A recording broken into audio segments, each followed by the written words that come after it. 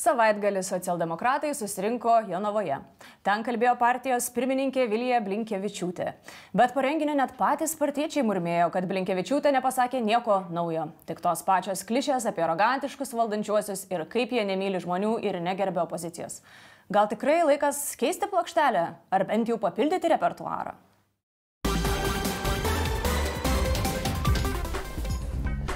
Labą dieną! Ieškau didžiai javainės. Ieškau javainės. Tai jūs čia suradat, aš esu didžiai javainė. Tai o kur jūsų rankos? Čia. Tai pasinaudokit tomis rankomis ir atsidarykit savo duris ir užėkit. Atsiprašau, aš esu tiek metų opozicijoje, kad pamiršau, kad reikia kažką daryti, net ir duris. Aš esu Vilija Blinkevičiūtė. Šitą žinau. Jūs iš socialdemokratų partijos. Jūs negalvokit, kad jeigu aš didžiai, tai aš esu ten vat, bumčikose paskendus ir neįsivaizduoju, kas čia Lietuvoje darosi. Aš taigi ne Montvidas. Reikalas toks, e, savaitgalį Jonavoje vyko mūsų partijos suvažiavimas. Aš ten atlikau geriausius savo gabalus. Leiskit atspėsiu. Dabartiniai valdantieji nesugeba tvarkytis, elgesi arogantiškai, mm, tik ieško kaltų, negerbė opozicijos ir jiems nerūpi Lietuvos žmonės. taip, būtent taip. Jūs matot, aš net nebuvau tam jūsų suvažiavime, o visą jūsų playlistą, aš jau žinau, jūs, jūs, jūs neturit jokių naujų hitų, jūs, jūs kartuojat tuos pačius. Man ir Sysas taip sakė. Todėl jis ir patarė man susirasti didžiųjų, kuris padėtų man atnaujinti mano repertuarą. Teisingai patarė. Net Katunskytė savo šlagerius dainuoja tik vasarą, o jūs juos kartuojat keurus metus. Žmonėms taigi atsibosta, nu jūs pasižiūrėkit, kas buvo su Bamilos kunigunda. Nu tai tiek visur groja, kad po pusės metų jau nebesinorėjo klausyti.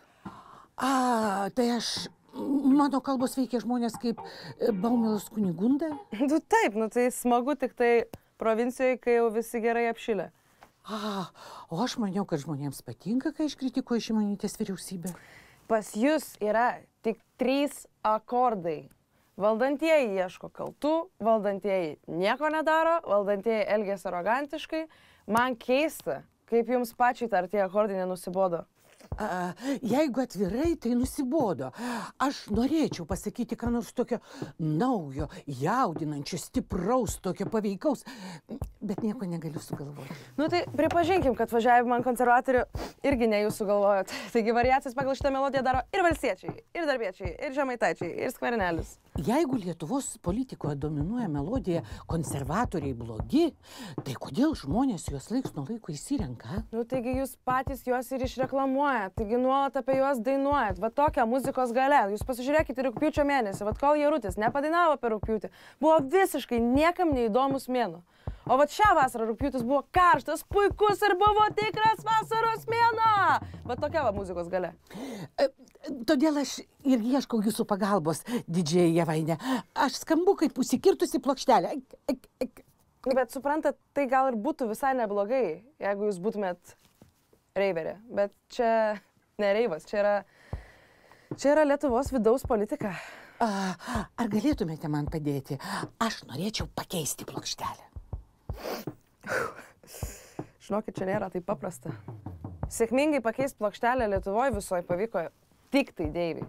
Jis pradėjo nuo roko grupės liūdėsio gėlės, po to perėjo į saldų popsą, tada peršoko į operinį dainavimo, galiausiai, o galiausiai vedė Renatą ir gyvena dabar miške. A, taip, stipriai keistis aš nenoriu. Man tiesiog reikėtų papildyti savo arsenalą. Būsiu atvira Vilija.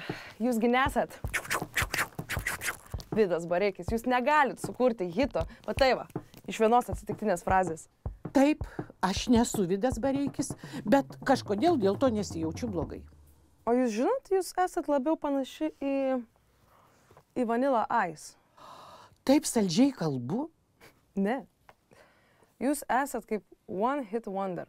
Nu, kaip vieno gabalo atlikėja. Nu, kaip, kaip Vanilla Ice buvo su Ice, Ice, baby. Žinot? Nu, taip pat jūs turite tik tais tą pabodusią dainelę. Vat, aš pakėliau pensijas.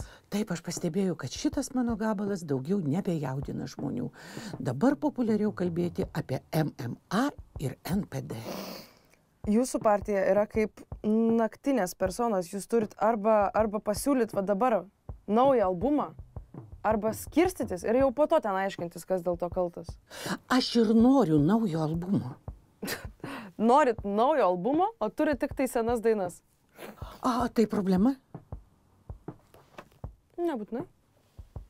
Tiesiog reikia padaryti jūsų senų dainų remixą ir vat, atlikti jas duetą, nes, nu, pavyzdžiui, netgi Eltonas Džonas dabar vat, dainuoja kartu su Dua Lipa arba Britney Spears. Mhm. Vadinasi, man reikia sukurti duetą. Mm. Dainuoti kartu su skverneliu. Puikus pasirinkimas, aš čia, aš čia biški naujo byto pridėčiau, autotune, dar vadžinokit biški smūku. Smuiko. Jo, jo, kad vat, įsivaizduotų žmonės, kad jūs griežėt pirmų smūkų. O jeigu nepavyks? Neužsicilikit jūs ant vienos veiklos. Nu, tai jeigu nepavyks, nu, tai susirasit naują sritį. Nu, kaip bunkė. Nu, pavyzdžiui, dabar jeigu geriau sekas interjerus kurti negu dainuot. Nebūsiu aš nei bunkė, nei blinkė. Remiksuokite mano nusibodusius pasirodymus. Ypač tą, kad Šimonytė nesitarė, Gabrielius skuba, o dešinieji mūsų negerbė. O jūs nesijaudinkit. Jūs busit kaip, kaip Madona. Mes atgaivinsim jūsų gabalus. Tik tais, nu, jūs tik tai, žinot, tik pasistengkit juos atlikti kuo rečiau gyvai. Šitai ir aš pastebėjau. Žinote, kai buvau Briuselėje ir nesirodžiau, tai žmonės mane labiau mėgo. Na tai okei, tai aš tada dirbu, o jūs man pasistengkit netrukdyti. Kažkaip pastaruoju metu žmonės vis dažniau sako man tą frazę.